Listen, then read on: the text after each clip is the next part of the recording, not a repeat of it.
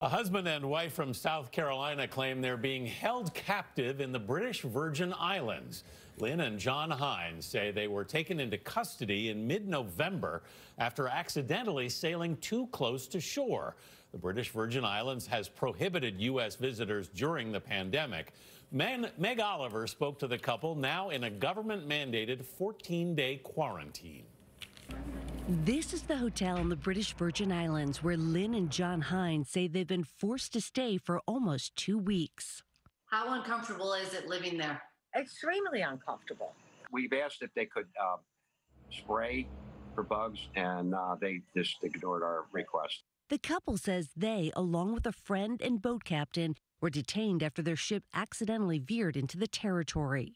He immediately turned the vessel around but before we got back to the waters, the uh, British Virgin Islands um, came up upon us and they said, you need to drop your sails and you need to follow us. The British Virgin Islands has banned U.S. citizens because of the coronavirus.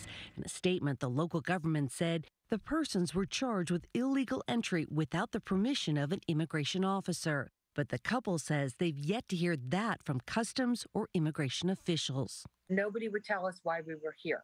And to this day, we still don't know. Did you know there was a travel advisory banning Americans? We knew that the borders were closed, but I had no idea about territorial waters. Michael Winkleman is an expert in maritime law. And it's really kind of absurd because if you if you're at all familiar with this geography, you it's literally an invisible border. It's not like there's signs in the middle of the ocean that says you're crossing over from one territory to the next.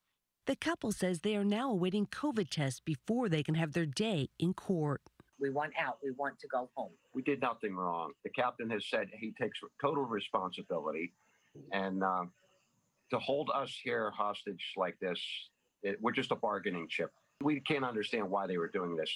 For CBS This Morning, Meg Oliver, New York.